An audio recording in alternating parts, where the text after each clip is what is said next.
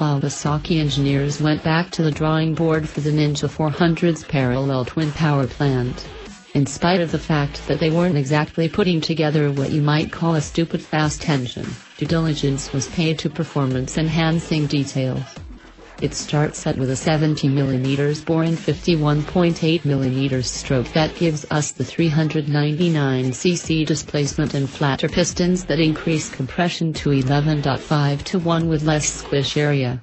Oil jets cool the piston crowns from below which in turn allows them to survive with a lighter construction for less reciprocating mass. Staggered intake funnels that smooth out torque generation with a larger airbox that helps increase volumetric efficiency a tad with oval-shaped 32mm throttle bodies to manage the fuel delivery. What does all this give us?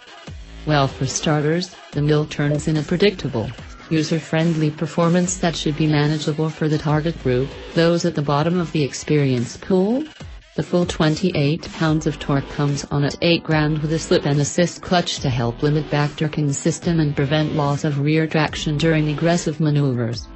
No TC or rider modes, but that's to be expected at this pricing point.